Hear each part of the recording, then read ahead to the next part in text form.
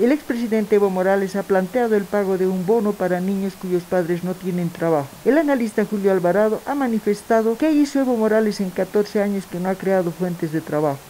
Es una barbaridad esa declaración de un presidente que después de 14 años, que ha tenido la suerte de tener una bonanza económica y al país han ingresado, según las estadísticas oficiales, más de 200 mil millones de dólares al país, entonces que ahora plantea un bono para niños pobres de familias pobres. ¿Qué ha hecho el señor Evo Morales esos 14 años? Que no ha creado las condiciones para que surjan nuevas fuentes de, nuevos fuentes de empleo en el sector público y en el sector privado. Entonces, esta es una muestra más del fracaso del gobierno de Evo Morales en materia económica.